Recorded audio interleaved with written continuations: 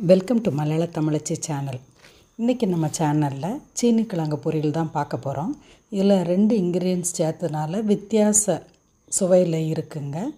வாங்க எப்படி செய்யலான்னு பார்க்கலாம்.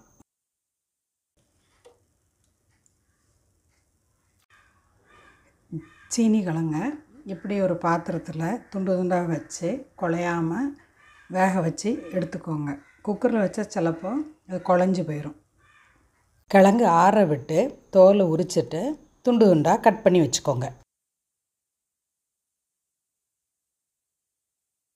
மற்ற இன்க்ரீடியன்ட்ஸ் என்னென்னு பார்ப்போம்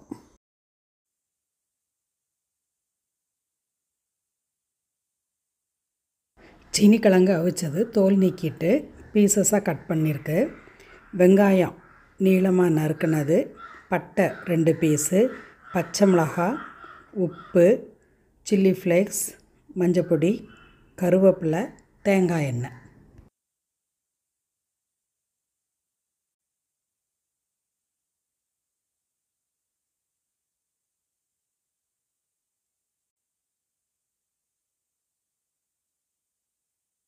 முதல்ல சட்டியில் தேங்காய் எண்ணெயை ஊற்றுங்க கொஞ்சம் காஞ்சதும் பட்டையை போடுங்க.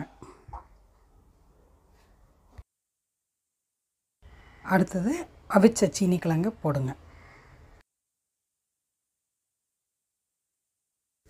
கொஞ்ச நேரம் அதை வதக்குங்க.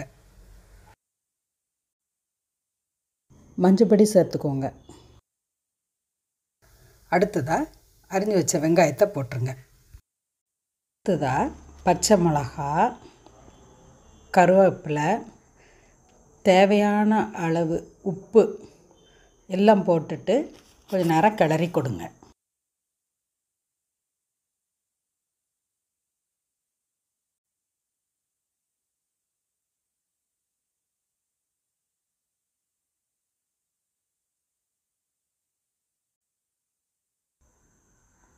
இனி தேவையான அளவு சில்லி ஃப்ளேக்ஸ் அவங்கவுங்க காரத்துக்கு தந்தாப்பில் சேர்த்துக்கோங்க.